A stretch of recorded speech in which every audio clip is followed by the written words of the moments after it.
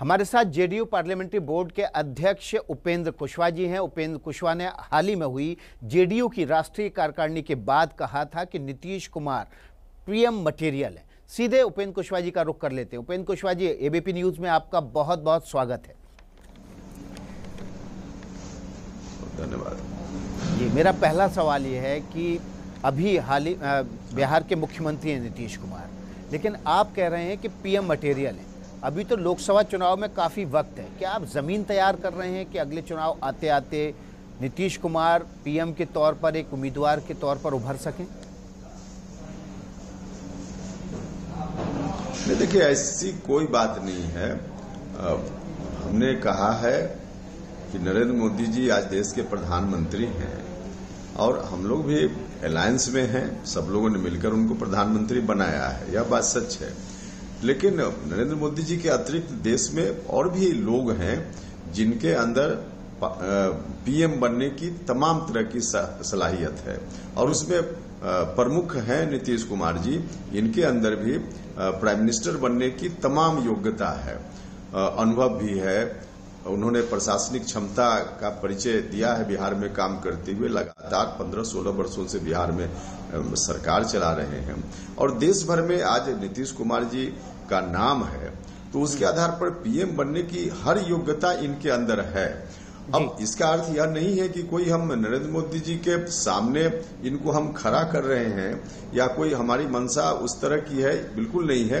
हमने कहा है कि है पीएम मटेरियल और बिल्कुल नहीं पीएम मटेरियल है मान है कोई भी व्यक्ति इनकार नहीं आप करेगा अगर पीएम मटेरियल बोल रहे हैं तो इसका मतलब है आप ये चाहते हैं कि कभी वो पीएम बने देश के। तो क्या इसके लिए कोई रणनीति तैयार की जा रही है या रणनीति तैयार है? नहीं देखिए अभी कोई रणनीति न है हमारी और न कोई रणनीति तैयार है। ऐसी कोई बात नहीं है। अभी तो हम लोग अलायंस में हैं और नरेंद्र मोदी जी देश के प्रधानमंत्री हैं। जी। आ, एक महत्वपूर्ण सवाल ये है कि बीजेपी के साथ आप अलायंस में हैं। आप जैसा खुद बोल रहे हैं। मुख्यमंत्री बनाया गया नीतीश कुमार को देश के प्रधानमंत्री नरेंद्र मोदी हैं। लेकिन आपको नहीं लगता कि इस गठबंधन में जब एक प्रधानमंत्री पहले से तय है और उस प्रधानमंत्री को आपकी पार्टी की भी स्वीकारोक्ति है, आप दूसरे व्यक्ति का नाम, अपनी पार्टी के प्रमुख नेता का नाम प्रधानमंत्री के तौर पर लें तो आपका जो अलायंस पार्टनर है, बीजेपी वो नाराज़ नहीं होगी?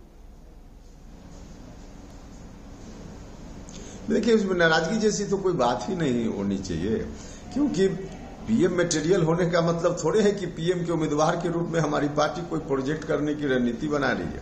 ऐसा नहीं है। मटेरियल हैं हमने यही कहा है। और इस बात को लेकर किसी को नाराज़गी हो कहाँ सवाल उठता है? जी तो आपको लग, रहा है कि नाराज़गी नहीं होगी। आपका बयान जो है वो किसी भी कंटेक्स्ट में ऐसे ना लिया जाए कि वो आप प्रधानमंत्री नरेंद्र मोदी के सामने नीतीश कुमार को चुनौती के रूप में पेश कर रहे हैं। हाँ यह बात हमने कल, यही शब्द मेरा भी था कि कोई उनके सामने चुनौती के रूप में हम नहीं ला रहे हैं, नीतीश कुमार जी का नाम। लेकिन देश के स्तर पर नीतीश कुमार जी का नाम है। और नीतीश कुमार जी हर तरह से प्रधानमंत्री बनने की योग्यता रखते हैं, यही बात हमने कही है। जी, लेकिन उपेंद्र कुशवाहा जी, मुझे याद है जब आपकी राज्यसभा की सदस्यता से आपने इस्तीफा दिया था, पार्टी ने, यानी कि जेडीयू ने आपको उस समय अयोग्य करार करने के लिए बाकायदा राज्यसभा के सभापति के सामने चिट्ठी भी लिखी थी।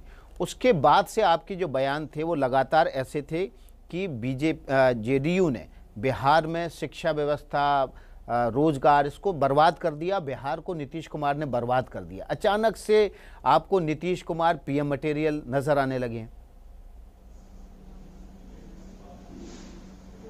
नहीं देखिए नीतीश कुमार जी ने जो काम किया है अब अब, अब इसका यदि विश्लेषण मूल्यांकन कीजिए तो जब से नीतीश कुमार जी बिहार के मुख्यमंत्री हैं उसके पहले जो काम हो रहा था बिहार में जहाँ तक हुआ था उससे कंपेयर कीजिए तो बिहार अभी बहुत आगे बढ़ रहा है हर मामला में। आप किसी मामला को ले लीजिए। तो उस दृष्टि से काम बहुत हुआ है। हाँ हमने जो कुछ भी कहा है शिक्षा का मामला है, स्वास्थ्य का मामला है, रोज़गार का मामला है, इसमें आगे बहुत कुछ करने की ज़रूरत है। हम आज भी कर रहे हैं इसमें बहुत कुछ करने की ज़रूरत है और आदरणीय नीतीश कुमार जी कर रहे हैं। हाँ कई तरह की कठिनाइयों का सामना उनको करना पड़ रहा है। बिहार जिस स्थिति में खड़ा था, उसमें तमाम तरह के झंझावातों को झेल कर यहाँ तक बिहार को ले आना काबिल तारीफ़ है। तो इसलिए आज भी हम इस बात को दोहरा रहे हैं जो बात हमने पहले कही थी, जिसकी आप चर्चा कर रहे हैं कि अभी बहुत कुछ आगे करने की ज़रूरत है बिहार लिए। जी, उपेंद्र कुशवाहा जी, एक अब मुद्दों पर आ जाते हैं। जातीय जनगणना और जनसंख्या नियंत्रण। इन दो मुद्दों पर आपकी पार्टी की राय बिल्कुल अलग है, बीजेपी की राय से। क्या ये जो राय जुदा होना, कहीं ऐसा तो नहीं होगा कि गठबंधन को ये दरार की कगार तक ले आएगा, टूट की कगार तक ले आएगा? देखिए ऐसा होता ही नहीं है बिल्कुल नहीं। जब गठबंधन हमारा कोई आज का गठबंधन तो है नहीं। समता पार्टी के दौर में याद कीजिए जॉर्ज फर्नांडिस साहब हमारे नेता होते थे देश के और तब भी अटल बिहारी वाजपेयी साहब थे भारतीय जनता पार्टी के नेता। गठबंधन होता था। कई मुद्दों पर अलग अलग राय अलग अलग पार्टियों की तब भी थी। और हम्म। गठबंधन में हम हैं कोई एक पार्टी तो हम है नहीं। भारतीय जनता पार्टी अलग पार्टी है जनता दल यूनाइटेड अलग पार्टी है और अलग अलग पार्टियों का मत विभिन्न विषयों पर हो सकता है। और आज हमारा मत है भारतीय जनता पार्टी का मत कुछ विषयों पर अलग है हमारा मत बिल्कुल अलग है और यह रहेगा स्वाभाविक चीज़ है। और इस मतभेद के चलते कोई गठबंधन की सेहत पर कोई असर पड़े ऐसा बिल्कुल नहीं है। कोई आज की बात तो है नहीं अलग अलग पार्टी होंगी तो मतभेद रहेंगे। जी। उपेंद्र कुशवाहा जी, आप पार्टी के सर्वोच्च जो बॉडी है, जो डिसीज़न मेकिंग बॉडी है उसके अध्यक्ष हैं पार्लियामेंट्री बोर्ड के। नीतीश कुमार जी ओम प्रकाश चौटाला से भी मिले हैं। क्या ये जो रणनीति है कि तमाम उन नेताओं को से मिलना, जो राष्ट्रीय महत्व के मुद्दों पर एक दूसरे के संपर्क में रहते हों, क्या नए गठबंधन को खड़ा करने की कोशिश है? और क्या नीतीश कुमार और लालू प्रसाद यादव एक बार फिर से करीब भी आ रहे हैं?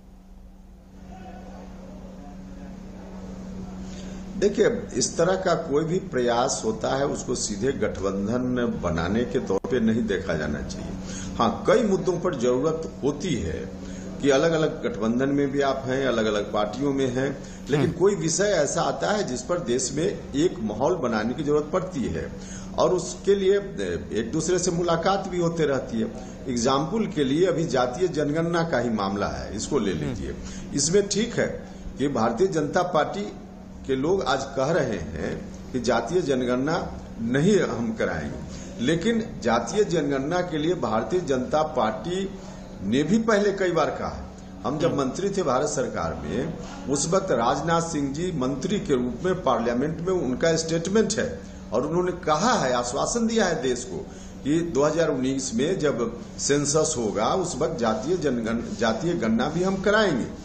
तो अब आज की तारीख में अगर डिफर कर रही भारतीय जनता पार्टी। तो देश भर में एक माहौल बनाने की ज़रूरत है। इसके लिए माहौल बनाने की कोशिश अगर कर रही है और उस कोशिश के प्रयास के रूप में देखना चाहिए नीतीश कुमार जी के इस मिलन को।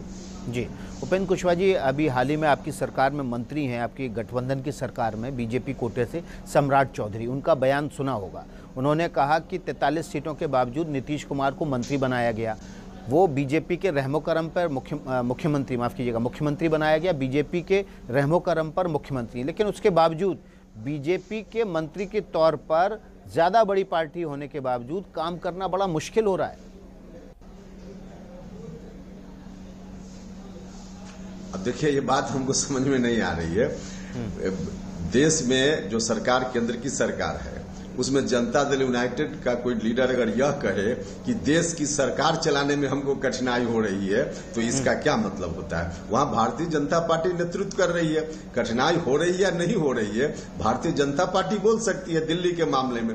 ठीक हम्म। उसी तरह से बिहार के मामले में जनता दल यूनाइटेड यहाँ लीड कर रहा है, नीतीश कुमार जी लीड कर रहे हैं यहाँ की सरकार को तो कठिनाई है या नहीं है, उनका विषय हो सकता है। कोई दूसरी पार्टी का कोई व्यक्ति बोले कि कठिनाई हो रही है तो इसका क्या अर्थ है?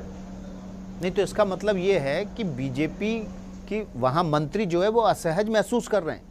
वो सरकार के निर्णयों के साथ सहज नहीं है। उसके लिए तो उनके अपने नेतृत्व से उनको बात करना चाहिए। अब कहाँ असहज है, सहज नहीं है, क्या है? उनको अपने लीडर से बात करनी चाहिए। लेकिन आप ये इसको इस तरह से नहीं मानते कि मुख्यमंत्री का जो सामंजस्य है, वो मंत्रिमंडल के बाकी सदस्यों के साथ ठीक नहीं हो पा रहा है? देखिए बिल्कुल ऐसा नहीं है। अब जो हम कोई मंत्री परिषद के सदस्य नहीं हैं लेकिन सामान्य तौर पे जो हम देखते हैं उसके आधार पे बिल्कुल आ, ऐसा नहीं है कि कहीं से कोई असहज है। हाँ स्वाभाविक रूप से थोड़ी कोई बात कभी कभी परिवार में भी हो जाती है तो उसको मिल बैठकर उसका निपटारा होता है। यह नहीं कि सार्वजनिक रूप से उसकी चर्चा होती है। तो इसलिए सार्वजनिक रूप से चर्चा का विषय ही नहीं है यह। तो आप पार्लियामेंट्री बोर्ड के प्रमुख के नाम तो प्रमुख के नाते क्या जो परिवार में खटपट है या परिवार में जो भी बातें हैं उसको मिल बैठ के सुलझाने के लिए प्रयास करेंगे पहल करेंगे? हमने कहा कि कोई ऐसी बात ही नहीं है खटपट शब्द देना मुनासिब नहीं है। कोई कुछ भी ऐसा नहीं है जिसको लेकर बहुत गंभीर हुआ जाए। अब अगर कुछ लगता है फिर हम उसी को दोहराएँगे कि भारतीय जनता पार्टी के किसी मंत्री को ऐसा लगता है तो अपने लीडर से उनको बात करनी चाहिए। अब चर्चा बाहर में सार्वजनिक रूप से की जाए, इसकी ज़रूरत नहीं। चलिए, अब मैं अगला सवाल ले लेता हूँ। 2019 में जब केंद्र में दोबारा सरकार बन रही थी बीजेपी और एनडीए की, उस वक्त जेडीयू इसलिए सरकार में शामिल नहीं हुआ क्योंकि एक मंत्री पद दिया जा रहा था। दो साल बाद आप, तकरीबन ढाई साल बाद आप फिर से एक मंत्री पद हासिल करने करते हुए शामिल हो गए। क्या आपने अपने जो स्टैंड था उसको डाइल्यूट किया? आपने अपनी जो सोच और समझ थी उसको डाइल्यूट किया और उसके बाद आप आ, सरकार में शामिल हुए? देखिए सोच को कभी भी डाइल्यूट करने की बात हम नहीं करते हैं और डाइल्यूट करने की बात हुई भी नहीं है। हाँ लेकिन स्ट्रेटजी का हिस्सा होता है कई बार। आ, उसके अकॉर्डिंग पुराने निर्णय पर पुनर्विचार होता है। पुनर्विचार के बाद आदमी निर्णय में थोड़ा बदलाव लाता है और हम्म। तभी गठबंधन चलता है तभी परिवार चलता है। तो इसके लिए इस तरह की बात हुई है और कोई अलग से इसको देखने की ज़रूरत नहीं। जी। नहीं ये इसलिए भी महत्वपूर्ण हो जाता है क्योंकि जब बिहार में सरकार बनी तो बिहार में सरकार बनी तो बीजेपी को ज़्यादा उप मुख्यमंत्री पद दिए गए बीजेपी के कोटे के ज़्यादा मंत्री बने क्योंकि उनकी सीट्स नंबर ऑफ़ एम थे, ज़्यादा थे।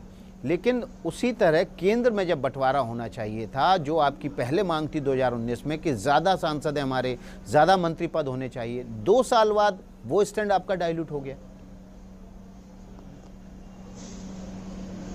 देखिए अब ऐसे भी यह विषय तो उसी दिन समाप्त हो गया, जिस दिन मंत्री परिषद का ओथ अंतिम रूप से हो गया। और हमारी पार्टी के senior leader RCP Singh ji मंत्री परिषद के सदस्य हो गए।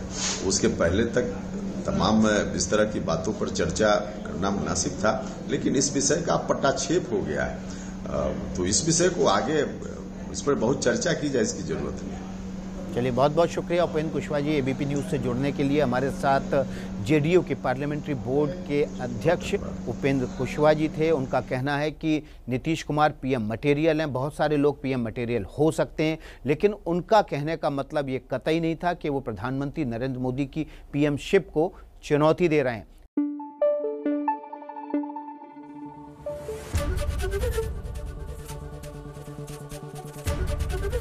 एबीपी न्यूज़ आपको रखे आगे।